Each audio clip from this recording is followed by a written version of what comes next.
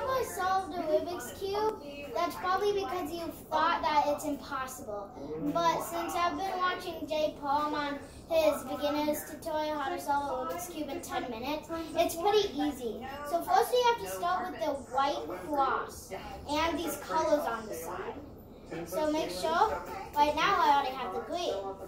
Then this one, turn that way. And the blue one, let's see, the blue one's right here. That. So we have the red one. The red one's right here. So what you do is you twist this, twist that way, twist back up. So then the red one's right here. But now it's opposite. Do that, and then twist this way, twist it how you want to, and then twist that again. So now we have the colors lined up and the white cross. Next, what you want to do is get the second layer. The second layer, no, the first, layer. yeah, the first layer. So find this piece, and you'll also be solving the whole white half. So get the orange, oh, flip it over so yellow's on top. Okay, then you see how this piece is white, which would go right here, orange and green. So we want green to go over here. So that's where that piece has to be. So then you do these four moves. Up, left, down, right. Up, left, down, right.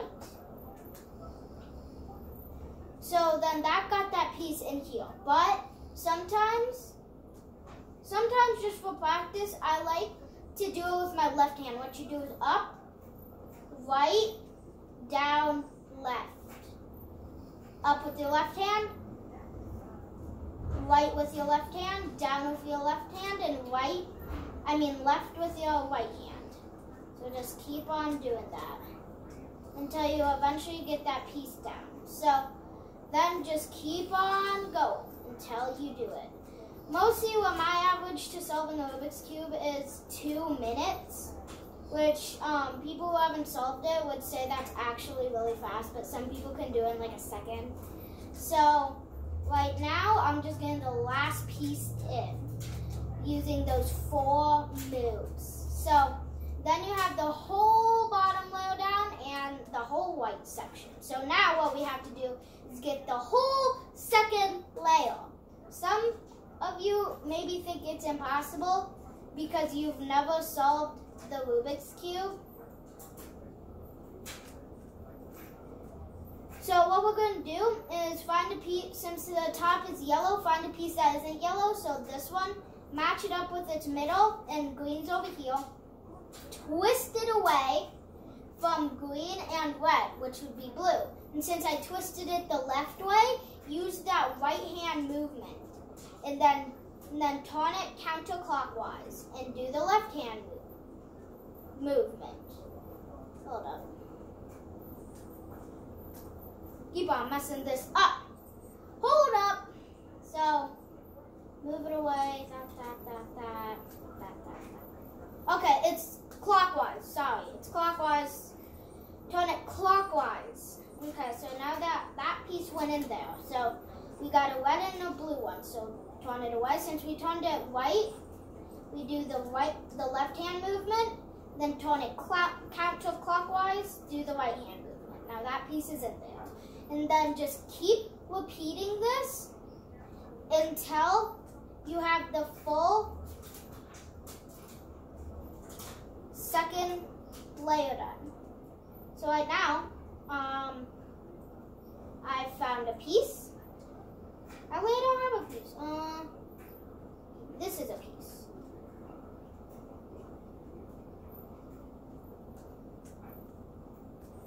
So here's a piece. So this will go over to orange, then turn it to the right and do, I mean turn it to the left and do the right hand movement, and turn it clockwise and do the left hand movement, and that should go in there pretty easily. And then keep on repeating that until you have the whole second layer salt. It's actually pretty easy if you just practice a lot. just keep on practicing. What me and my dad did is practice each move until we got the hang of it pretty fast.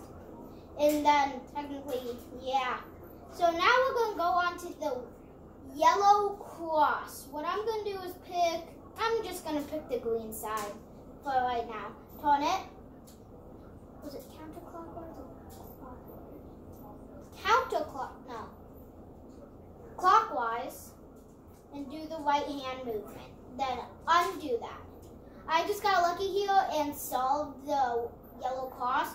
You can repeat it if you want to, if if you have to, but never move the whole cube. Mm -mm. Just keep it on the thing that you have. And if when you get the L shape, make sure to put it in the top left corner when you get the L shape.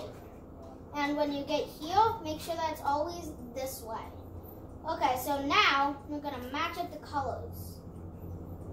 These colors. So right here, now since I have two of these lined up, what you're supposed to do is put one on the back, one on the right. But if you can't do that, that's okay also.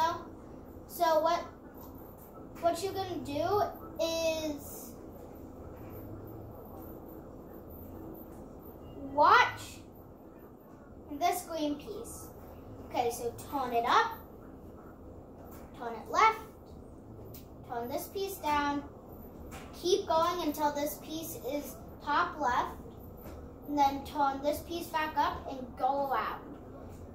It should solve it, what I have here, it, it solved it. Well, it didn't solve it, but I got that step done. But sometimes you'll have to repeat that. So right now we're going to go on to the corners. So this corner is solved. Yellow, red, and blue. So this corner is solved. This one is not. This one is not. And this one is not. Solved may not may not look like it's all the way solved. Solved means that the colors are in the right position. So what we're going to do here is twist that, twist the other way with the same side on the left, then do it reverse. So what we should have is that one solved, that one solved, that one solved, and that one solved. You could repeat it, but I just got lucky and got all of them solved. So now turn the cube over. Here's the last step. And if you mess up, you might have to mess up the whole cube. So watch carefully. The, the white should be on top. Um, I'm going to pick red side for this one. So now do the right hand movement. Now do not flip the cube. Keep it on your color. Just flip the bottom until this is right here. So now we are going to do it. The right hand movement. And now you can turn the cube around all you want, but you can see it's not solved yet. Just turned it one and look at that, it's solved. This is the beginner's method of how to solve a Rubik's Cube. Bye!